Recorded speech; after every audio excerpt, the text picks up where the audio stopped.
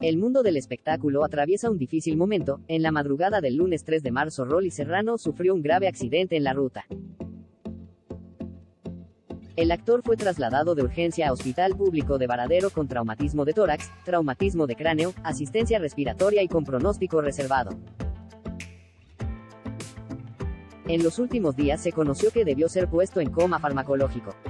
En un móvil para DDM, el ciclo conducido por Mariana Fabiani para América TV, Osvaldo Laporte reveló que tenía novedades sobre la salud de Rolly Serrano y reprodujo al aire el mensaje de voz que le envió la hermana del actor. No sabes qué contentos que salimos.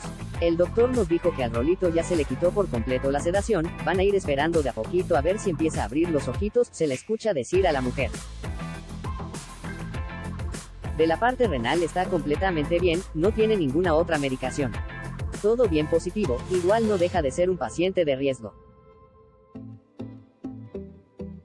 Lo que tiene que hacer su pulmoncito es poder respirar, agrega la hermana de Rolly Serrano. En tanto Osvaldo Laporte agradeció a los trabajadores de la salud de la clínica AIMAC que acompañan a Rolito y a una gran cantidad de amigos que amamos profundamente.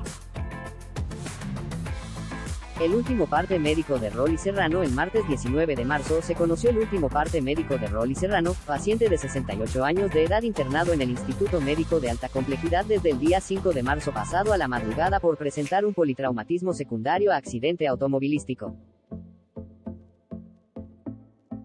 Actualmente el paciente continúa internado en la unidad de cuidados intensivos. Se encuentra estable hemodinámicamente en regular estado general con asistencia respiratoria mecánica por cuadro de insuficiencia respiratoria.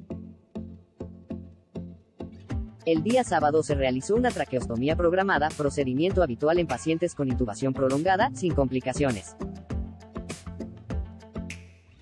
No presentó novedades de relevancia en las últimas 24 hectosegundos. Continúa con pronóstico reservado, cierra el parte médico.